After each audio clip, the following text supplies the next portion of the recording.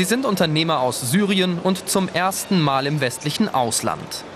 Das Regime ihres Landes hat angekündigt, die Importzölle bald deutlich zu senken. Davon wollen sie profitieren. Ich will hier deutsche Maschinen kaufen und sie in Syrien verkaufen. Ich sehe mich hier noch ein wenig um. Mal sehen, was ich finde.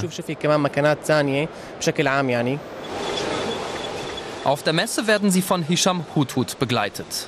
Er lebt in Deutschland und in Jordanien und er versucht, den Kontakt zu deutschen Verkäufern herzustellen.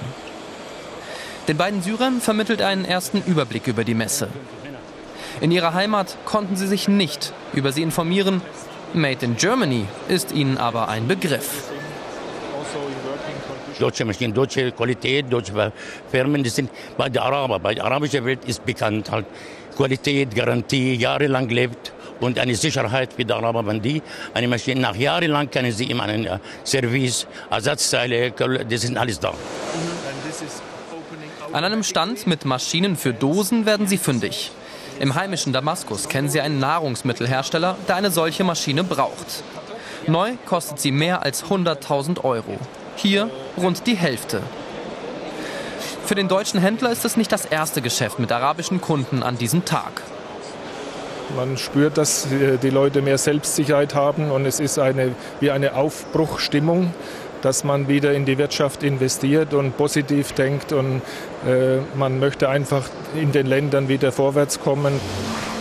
Der Veranstalter der Justec plant mit Partnern ähnliche Messen in der arabischen Welt. Durch die Umbrüche in den Ländern könnte der Bedarf nach gebrauchten Maschinen und Industrieanlagen kräftig steigen.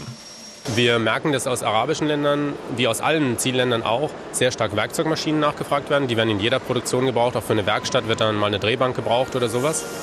Äh, wir haben aber aus den arabischen Ländern auch starke Nachfrage nach Baumaschinen zum Beispiel und nach Nahrungsmittel- und Verpackungsmaschinen.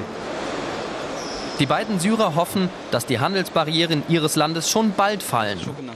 Denn die gebrauchten Maschinen werden in ihrem Land dringend gebraucht.